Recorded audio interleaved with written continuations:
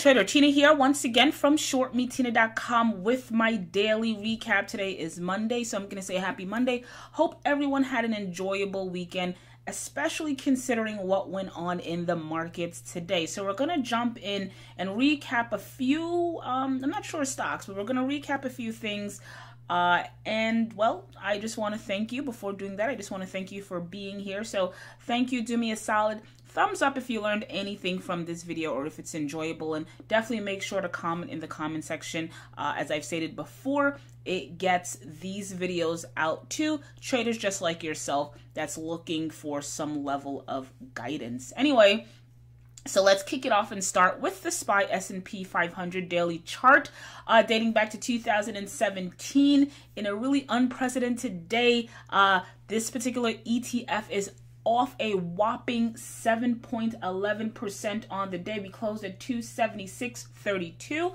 Uh, the low clocked in at 273.45. So, in many respects, when you pay attention or when you take a look at today's high of 284, you contrast that to the low and the close of 276. In my opinion, we closed relatively close to session lows, which means that this selling, as odd as it might seem, may not be over. We might see continued downside heading into uh, trading tomorrow, and you definitely need to be prepared for it. Uh, for anyone that's subscribed to my free weekly newsletter, which I release every Sunday, I essentially said, listen, you want to trade in, in, in you want to trade in environments that are conducive to your style of trading, right?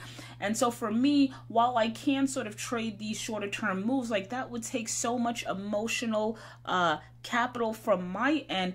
Uh, and it's just something that I just don't want to give this market in particular. So I've said I've taken off my shorter term uh, trading hat and I've put on my investor hat. So right now I'm just looking for stocks that I want to hold in my longer term portfolio, all the while keeping my eyes on the markets just in case those shorter term trades do come up because there are about i want to say a handful of stocks that i'm looking to get into stocks that i believe have the potential to be acquired uh, and so these types of environments in my opinion are ripe for acquisitions and mergers uh, and so I have my eyes set on about five stocks, waiting for them to get down to uh, relative support levels before buying. And uh, and we will hope for the best. Anyway, let's again, I segued a little bit, but let's uh, get back to the SPY. It's a daily chart dating back to 2017. On Friday, we closed right on that support or between that support level, uh, once resistance of around uh, 295 to 300. Specifically, we closed at 290, uh, pardon, specifically, we closed at 297.46. Uh, so for those that were expecting a bounce, uh, the market said not so today. We opened up we gapped down and it was nothing but for the most part selling all day long. Again eventually to close at 276 so you ask what's the level uh, what's the next level of support for me? The next level of support is right here. I'm sort of shaking that line that comes in around uh, 260 uh, just given what we've experienced the last two weeks yes the market can potentially get to 260 and even revisit. It is not out the question at this point. And even revisit december lows right here. You see that right here which will be underneath support, we can perhaps even revisit uh, December lows of around 234.27 and the market perhaps can uh, drift a bit lower right now i'm not committing to the markets drifting lower uh, once we or if we get to two, uh, 234 i'm just paying attention to how the market is going to react when and if it gets back to that 260 level and that should tell me more or less whether or not more selling uh, is underway uh, or if we should get a bounce. So for me what i'm paying attention to uh, obviously is uh, the lows of 260 or support of 260 what else all right, and really quickly, IWM daily chart did not fare well. In fact, fared a lot worse than the other uh, major indexes. Uh, this one is down north of 10% on the day. It's usually what happens. Small caps usually get clobbered. Uh, we closed at 130.30. Session lows 130.26. Again, closing close to session lows tells me that the market might actually continue the selling into the next trading day, which is tomorrow, Tuesday, March 10th.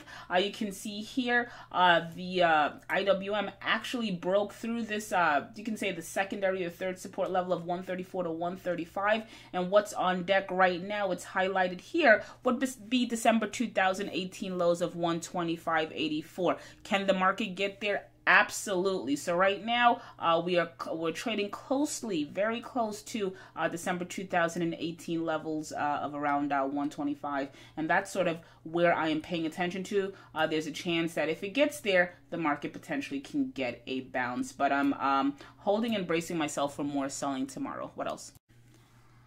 All right, and let's uh, touch base with gold daily chart. It's up marginally on the day. Uh, if we were to look at gold as any indicator, then we should have been really cautious uh, towards, I want to say, uh, mid 2019 around August, July, somewhere around there, because that's when I said August here. That's clearly when uh, gold broke out of this long, long ch- uh, channel dating back to 2013. You can see it got the break right here. Uh, we retested it, but it held, uh, and then it, clear- it clearly we're breaking out again closed at our 157.90 again we're up marginally on the day but relative to what the market is experiencing i would expect gold to be up a lot more. So i say all that to say there really doesn't seem to be too many places to run to that quote unquote safe haven spot. The only quote unquote safe haven it seems like right now in the market is cash. And gold demonstrates that. Again we're up marginally on the day despite being down north of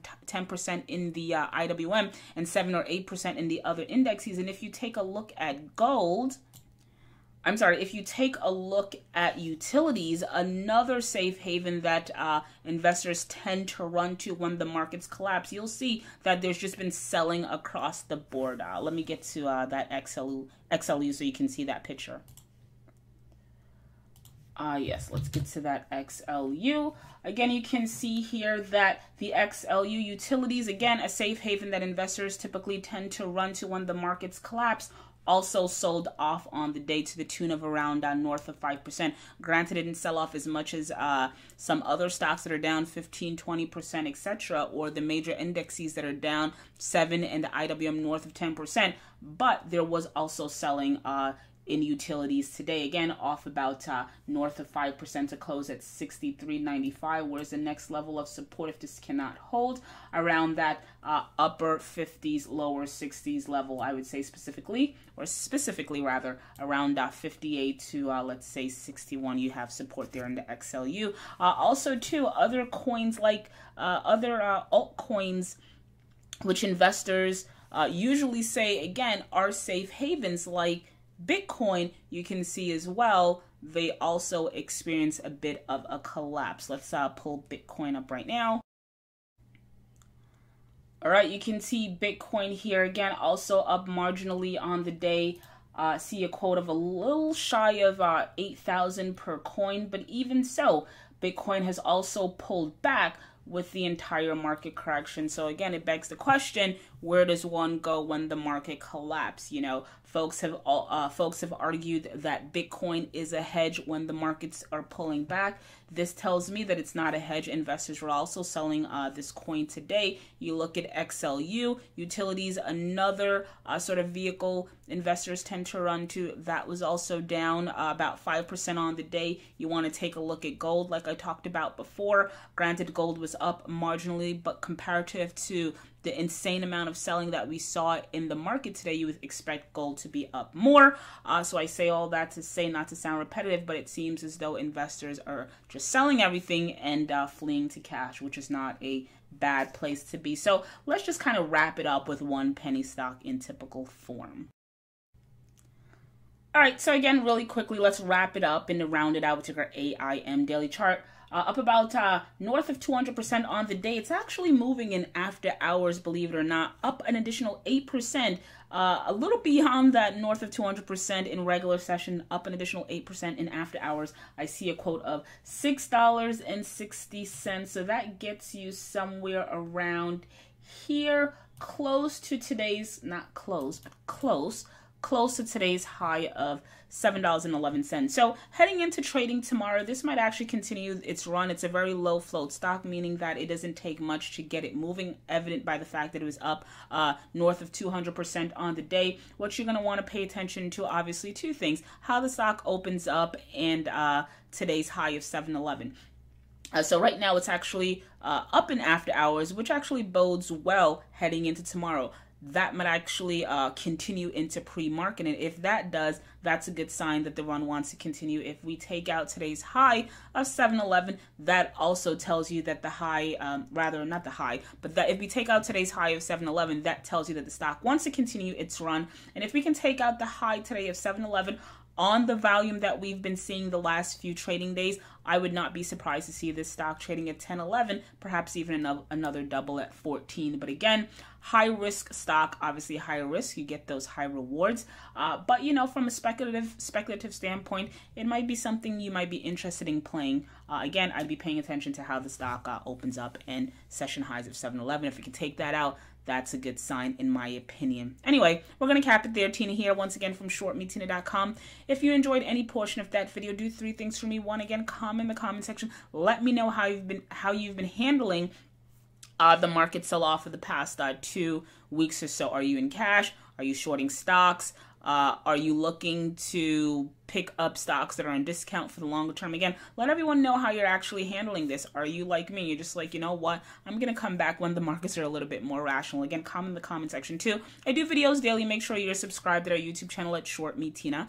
And uh, lastly, lastly, uh, I'm hosting right now on our website a free 14 day trading course. Again, just going over some of the things that I've learned trading the stock market for the past uh, 20 or so years. So if that's something that you're interested in, no credit card required. You just need to give me an email email address, then definitely head on over to our website, shortmetina.com. Sign up, become a member. Thank you for listening, and as always, thank you for the support. I will talk to you tomorrow. Uh, stay safe out there.